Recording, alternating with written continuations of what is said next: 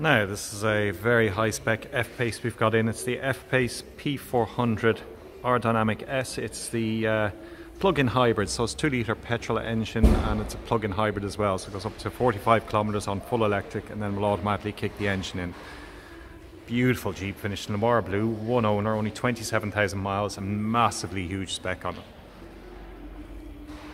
It's got the chrome pack on the outside.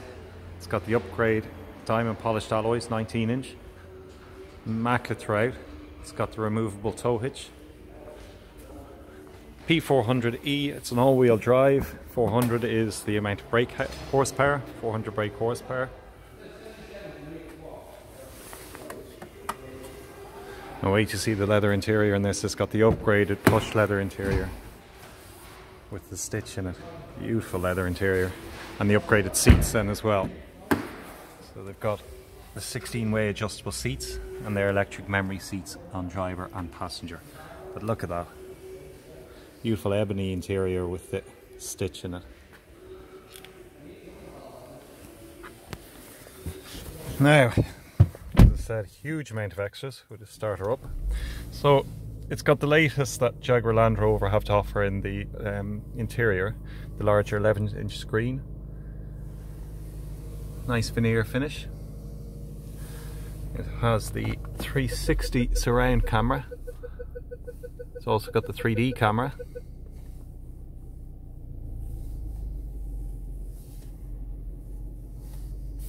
It's a nice touch. So it's got cameras all around the car. Uh, it's got satellite navigation, obviously got all the Bluetooth with the streaming in your media. Has the uh, Apple Play, the Android Auto, has the configurable dynamics. So you can set up the whole lot with the stopwatch lap times and a G meter as well. You'll have a bit of fun with that.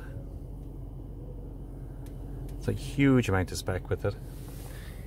Lane departure warning, heated steering wheel. It's also got the virtual cockpit in here. So that whole thing is interchangeable. I can have the maps and all sorts of things coming up in there as well.